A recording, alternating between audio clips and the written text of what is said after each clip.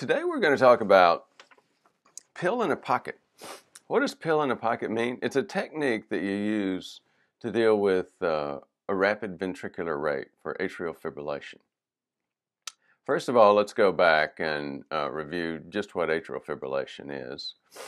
But before that, just a quick introduction. Dr. Ford Brewer, F O R D, B is in boy, R E W E R um, PrevMed, heart attack, stroke, cancer, dementia, disability prevention.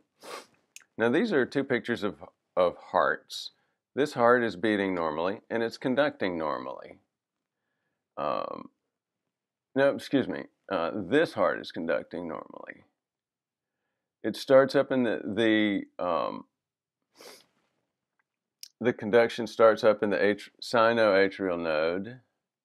It goes throughout the atria or uh, to coordinate that beat.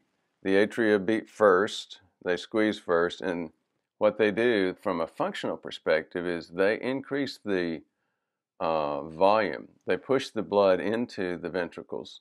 So atria add about 10 to 20 percent um, of the performance of the ventricles by preloading or filling them. As the this is the conduction mechanism to coordinate this um, this beat. Again, the sinoatrial node goes through the um, atria, then it goes through one area here called the AV node, and then coordinates down through the ventricles. If you look at an EKG, that's exactly what we see. The P wave is the uh, con conduction as it starts at the sinoatrial node, goes through the atria. There's some delay with the um, AV node, atrioventricular node, and then it, goes through the ventricles. That P wave right there, that small bump, is the uh, wave going through the atria.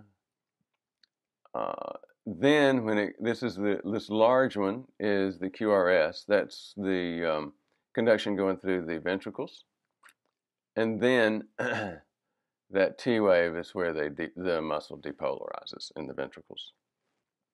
So if you look down at the at atrial fibrillation, what, one of the things you see is you really can't find. It maybe looks like a P wave here, but when you start looking around, you're not finding a regular P wave at a regular distance in front of the QRS uh, complex. Another thing that you find is that you don't have a regular rate. So um, the rates go from 300, 150, 100, um, 75. And so this rate's what, about 60? If you look at this rate, uh, that one was about what 140.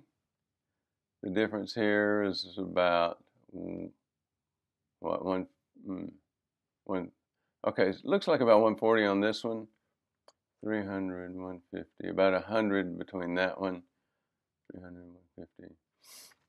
About 100 here. Actually, it looks like this person's getting a fairly standard uh, response of about 100 you have to average these out because, again, it's not a, uh, a regular beat like you get up here. That's one of the, um, uh, we call it sine qua non. It's a, it's a, um, a Latin term.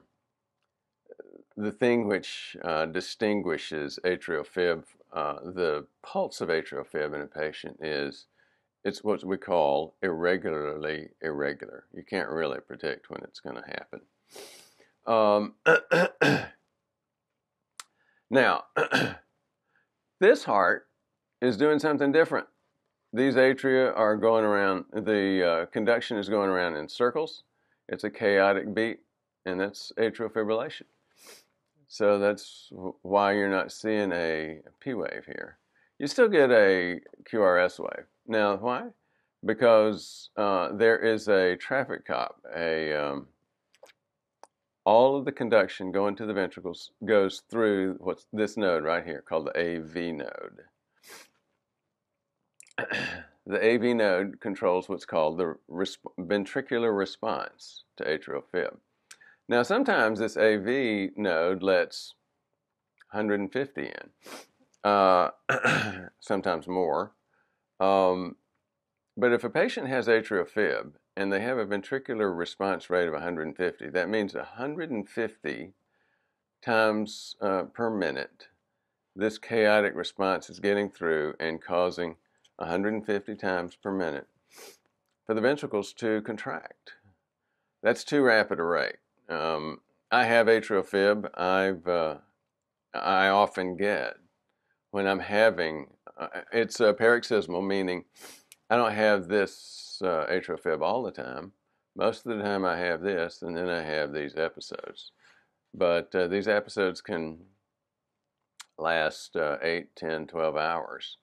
Um, and in my, uh, in my case, quite often the rate is getting up to about 150, the ventricular response rate, the number of um, beats that the um, that the AV node is letting in through uh, uh, from uh, atrial conduction.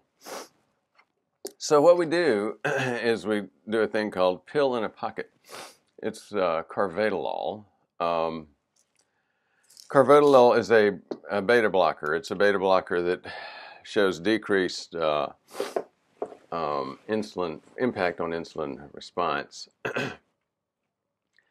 um, I focused on that because I have insulin resistance. That was the uh, beta blocker I selected for myself, but um, and requested. I, I, did see a cardiologist for this. Um, but here's the thing: